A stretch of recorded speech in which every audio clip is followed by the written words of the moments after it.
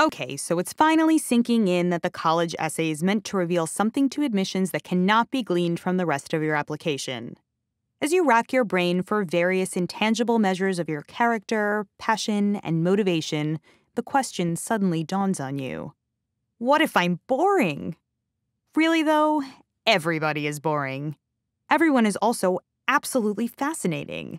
It's all about perspective and your ability to isolate and highlight the small details that will hook the reader and make you stand out. In the end, everyone has a story to tell. Your second cousin has a story to tell. Did you know she keeps a diary documenting the 100 plus slices of pizza she's sampled thus far? And that guy who sells you gum at the local candy store has a story. He makes short documentaries in his spare time. Even Kim K has a story to tell. In fact, maybe she should stop telling her story. Is it possible to limit her to 650 words? Speaking of which, what if, instead of feeling like you have nothing to say, you're like, oh my god, I have too many stories to tell? Well, you lucky duck, we will get to strategies for narrowing down your list of awesome ideas towards the end of this chapter. All of that said, pulling essay topics out of thin air is not everyone's favorite pastime especially when those ideas must be rooted in self examination. The trick is to transform the brainstorming process from an existential crisis into a playground for self discovery and self expression. This is what this chapter will help you accomplish. Some of the questions we will ask and then answer include What is the backwards brainstorm? How do I even start this process? Are there things I absolutely should or shouldn't do while brainstorming? How do I know when I found the winning topic? Right now, we're going to come back to that super fun strategy in which we actively decide to forget about those Common App essay prompts. The backwards brainstorm consists of four simple steps. Step 1 Read through the prompts. Once you've dissected your options one by one, you know what you're up against. Step 2 Put the prompts away. You now know that, at least for the time being, the specifics of the prompts don't really matter.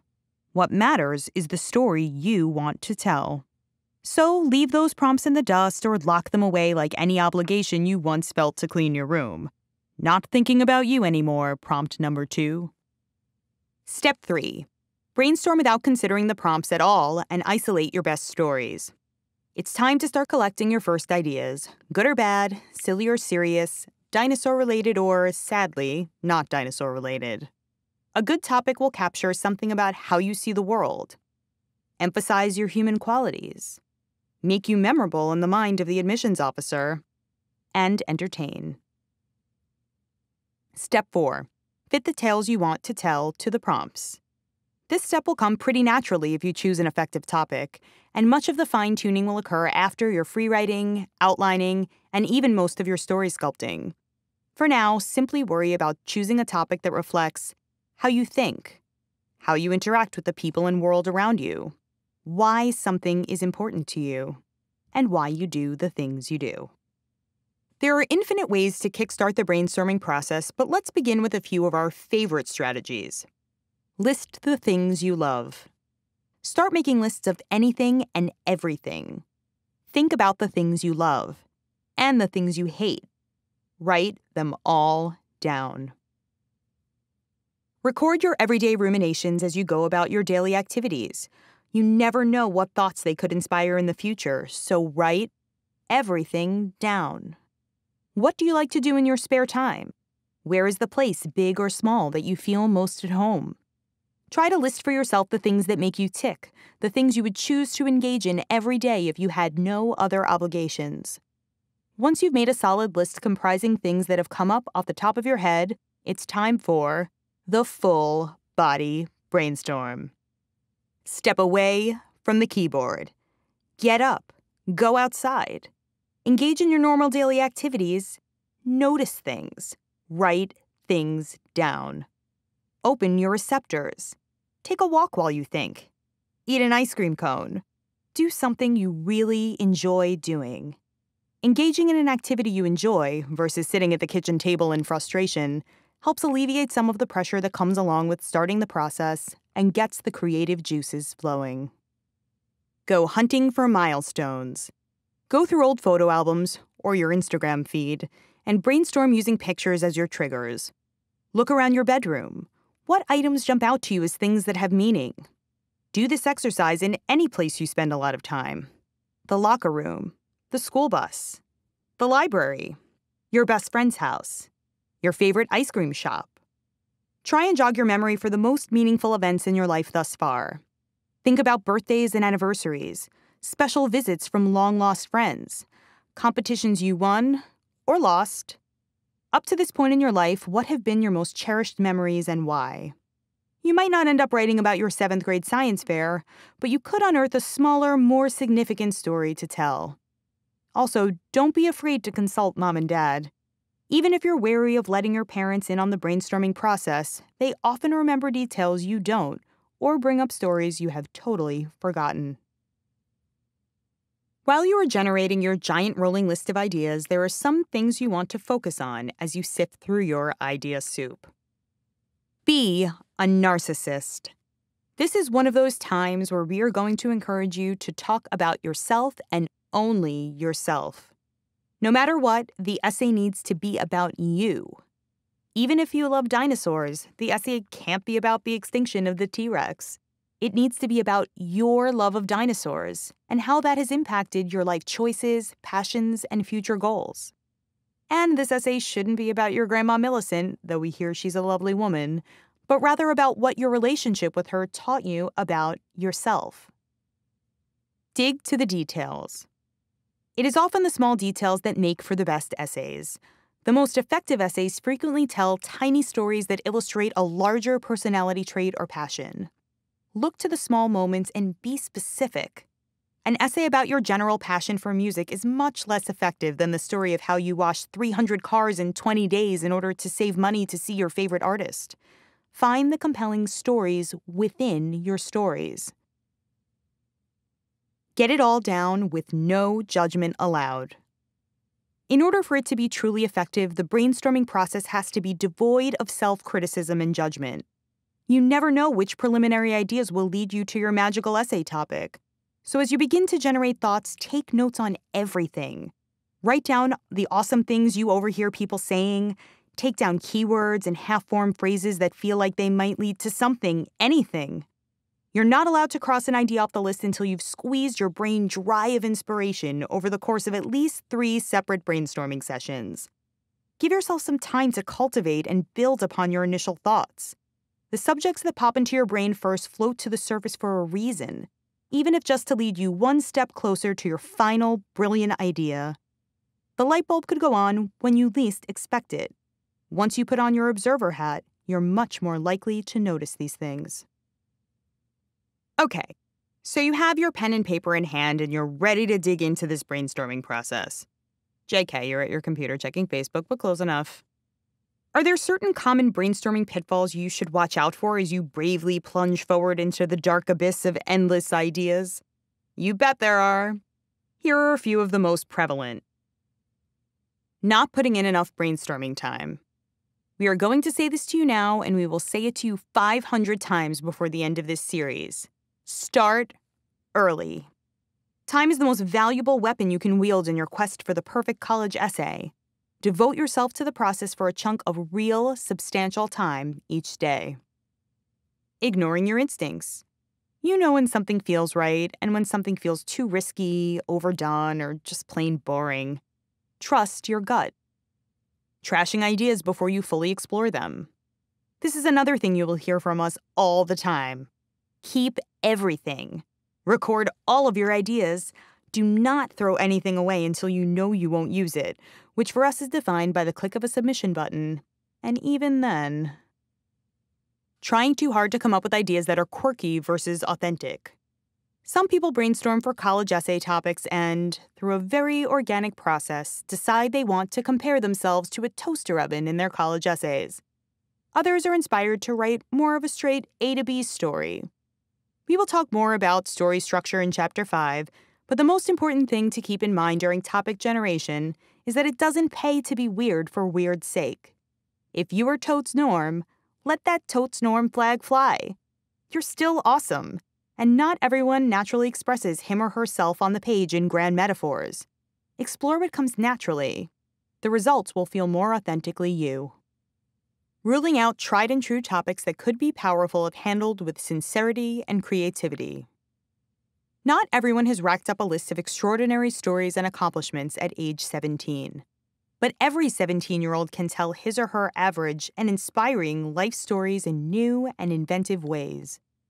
Admissions officers aren't expecting you to have traveled around the world, invented the cure for a rare disease, or won the title of National Hot Dog Eating Champion.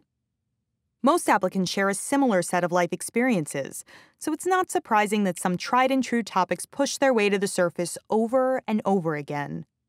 Just because a subject is common doesn't mean it's a topic to be avoided. It's how you treat the subject matter that makes all the difference. This is why we don't believe there are any subjects that are off limits.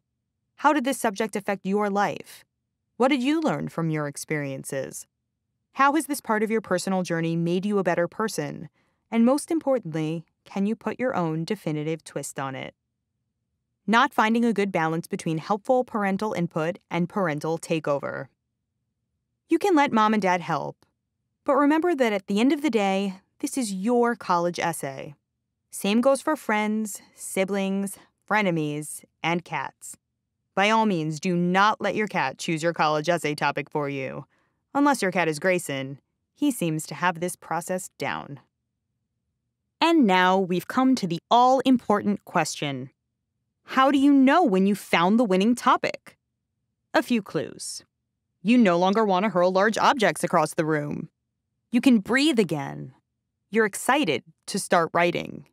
No, seriously, we're not even kidding. When you find the right topic, you'll know it all of a sudden, the pressure of writing a perfectly compelling college essay lifts a little. Not completely, that would be a miracle. Students who write effective college essays aren't thinking about what admissions officers want to hear. They're thinking about how to best express themselves and what a near stranger might want to know to feel better acquainted with them. When a topic feels like it could accomplish that task, you're golden. Finally, we arrive back at those pesky prompts that we actually love. When you've isolated a subject you think will represent you well, we suggest you do a quick test. Does a quick summary of your topic answer one of the prompts? If it's a good enough topic, it always does. Once you have chosen a topic, lock it in by performing these last few tests to make sure it will do the trick. Ask yourself Will this topic make admissions wish they could meet me in person? Does it inspire them to want to know more about me? Will anyone else be able to write about this topic in the way I plan to write about it? When the essay is complete, would it be crazy to think of someone else claiming my essay as their own? What will writing about this subject say about me? What ultimate message am I hoping to convey? The answers to those questions will help determine if you need to dive back into the idea pool or press on to turn your awesome topic into a truly incredible essay. Now high five this cat drinking a Shirley Temple on a tropical island. You are now a brainstorming expert. It's time to take a look at Grayson's second essay attempt in which he faces his fears. What does this essay say about Grayson's spirit, determination, and ability to accomplish his goals? What else might he be communicating to admissions? Meet Grayson as the improv rookie. Put your paws together for feral laughter. As my troupe snuck on stage through the curtain, I could feel my whiskers twitch with excitement.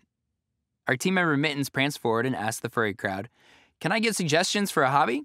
Ignoring humans, someone shouted. Okay, ignoring humans, said Mittens. Here we go. I stepped forward with Jonesy, a large tabby on our team. As an ex shelter cat, I had watched my neighbors give high pitched old ladies and sticky handed children the cold shoulder, and I knew I could mimic that aloof disposition. Still, I had to be quick on my paws. Jonesy approached me with a, Here, kitty, kitty. Just before his paw could muss my coat, I bristled, launched over his hand with the ease of a show pony, and casually knocked over his imaginary can of Diet Coke. I added a subtle eye roll to my soft landing, and the room exploded in laughter. I grinned. I was on stage, unafraid, and ready for anything life could throw at me. I found myself at the Calico Club, laying my pride on the line for a laugh after my first debate tournament, during which I encountered a potent case of unanticipated stage fright. For all public performances prior, I had ample time to prepare. I delivered a class presentation on the science behind catnip with polished expertise and reenacted scenes from the feline revolution with spirit. I even gave a musical toast at my best friend's bar mitzvah. But the thought of padding into a room, unprepared, not knowing what would be hurled my way, had me shaking in my furry boots. Knowing that to pursue my dream of becoming the next Ruth Meowder Ginsburg, I would have to conquer my fear of impromptu speaking, I did what any industrious cat would do I joined an improv class. On the first day, I was introduced to a wildly diverse crew of cats for whom improv served a wide array of purposes. Andrea was a mother of three with a passion for self improvement.